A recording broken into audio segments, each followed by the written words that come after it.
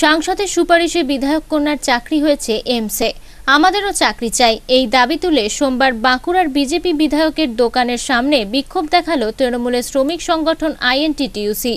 সুপারিশে মেয়ের চাকরির কথা অস্বীকার করে বিধায়ক নীলাদ্রি শেখর দানা। সাংসদ জগন্নাথ সরকারের সুরে গলা মিলিয়ে বলেন, সৌভাগ্য হলে যোগ্যতা বিচার করে তৃণমূলের বিক্ষোভকারীদেরও এমন চাকরি দেয়া হবে। বাঁকুড়ার বিজেপি বিধায়ক নীলাদ্রি শেখর দানার মেয়ে মৈত্রী দানা বাঁকুড়ার সাংসদ তথা কেন্দ্রীয় শিক্ষা প্রতিমন্ত্রী সুভাষ সরকারের সুপারিশে কল্যাণীর এইমসে চাকরি পেয়েছেন। এই অভিযোগ সামনে আসতেই রাজ্য জুড়ে শুরু হয়েছে আলোড়ন।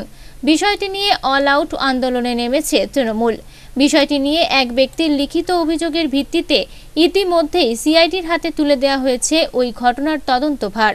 সেই তদন্তের মাঝেই এবার বাঁকুড়ার ভৈরব স্থান মোড়ে বিজেপির বিধায়ক নীলাদ্রি শেখর দানার কাপড়ের দোকান ঘেরাও করে বিক্ষোভ দেখাল আইএনটিটিউসি।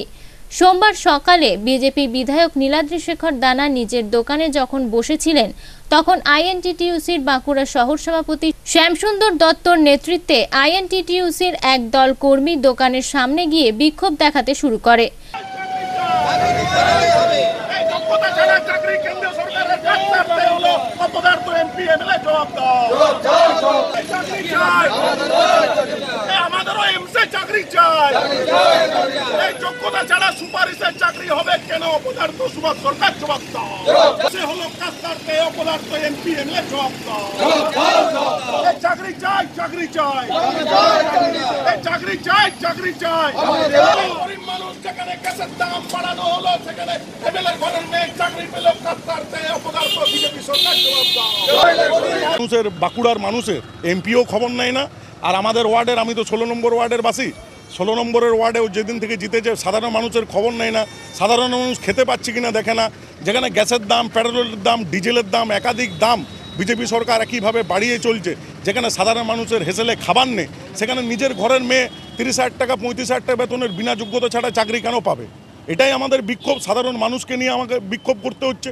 ওয়ার্ডের মানুষ এসেছে, বিভিন্ন জায়গা থেকে আজ মানুষ এসে বলছে, বিক্ষোভ করছেন ওনার দোকানের সামনে যে যোগ্যতা ছাড়া যোগ্য, আমরা চাই যোগ্যতায় চাকরি হোক পশ্চিমবাংলায়, যেখানেই হোক ভারতবর্ষের যোগ্যতায় চাকরি হোক। এমপি এমএলএতে সুপারিশে কেন চাকরি হোক দিয়েছে আমাদেরকে এমপি কি কাজ দিয়েছে? একশো দিনের কাজের টাকা বন্ধ করে দিয়েছে এরা। এরা শ্রমিক বিরোধী আইন আনছে। এদিকে যারা কাজ দিতে পারছে না, তারা নিজের ঘরের মেয়েকে চাকরি যোগ্যতা ছাড়া দেয় কি করে?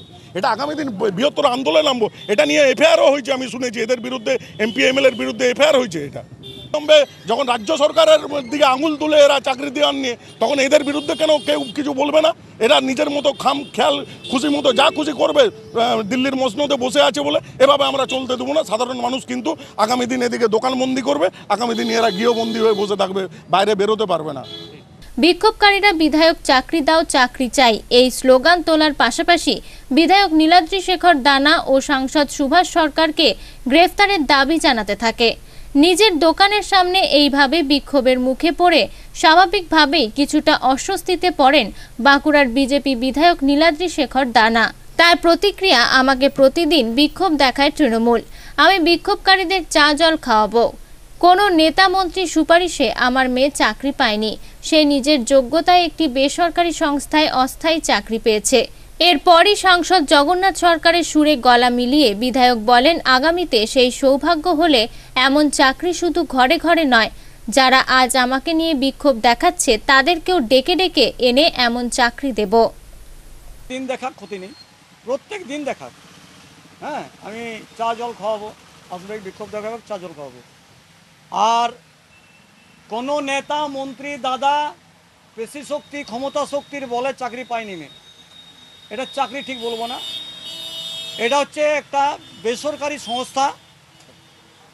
এমসের একটা বেসরকারি সংস্থা, সেখানে যোগ্যতার নিরিখে ইন্টারভিউয়ের পরিপ্রেক্ষিতে সে ওরেল পরীক্ষা দিয়েছে, ইংলিশে তাকে স্পিকিং ল্যাঙ্গুয়েজ দেখেছে, হিন্দি ভাষাটা দেখেছে, সেই সমস্ত দেখেছে, কম্পিউটার দেখেছে, টেস্ট করিয়েছে, তার নিজের যোগ্যতা বলে সে নিজে পেয়েছে। প্রথম, এটা কোনো সরকারি চাকরি নয়।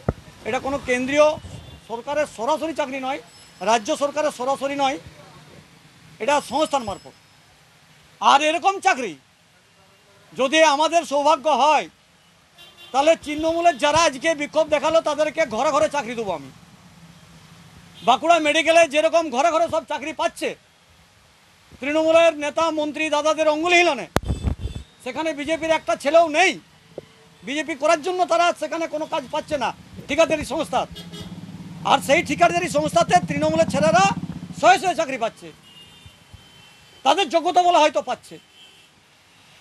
মিথ্যা কথা বলে কোনো লাভ নেই, তাদের নিশ্চিত যোগ্যতা আছে। কারও ঝাঁট দেওয়ার, কারও কাগজ বোয়ার, কারও জল বোয়ার, সে চাকরি করছে। যে অভিযোগটা আমার মেয়ের উপরে তুলেছে। অনুরূপভাবে আমি আজকে আপনাদের সামনে বলতে চাই, শুধু বিজেপির নয় হাজারে হাজারে চাকরি ঢুকাবো, দল ক্ষমতায় এলে প্রত্যেকটা দপ্তরে কারখানা তৈরি করব, শিল্প তৈরি করব দিয়ে হাজার হাজার বেকার, শিক্ষিত ছেলে মেয়েদের চাকরির সংস্থান করব। এবং এফআইআর হাজার রকম করতে পারে। আমিও আপনার নাই এফআইআর করতে পারি। এখনই করতে পারি যে আপনি আমার দোকানে এসে আমাকে স্ল্যাং ল্যাঙ্গুয়েজ ব্যবহার করেছেন, বিধায়কের অফিসে ঢুকে। করতেই পারি। বাঁকুড়া থেকে সৈয়দ মফিজুল হুদার রিপোর্ট, আনন্দ বার্তা।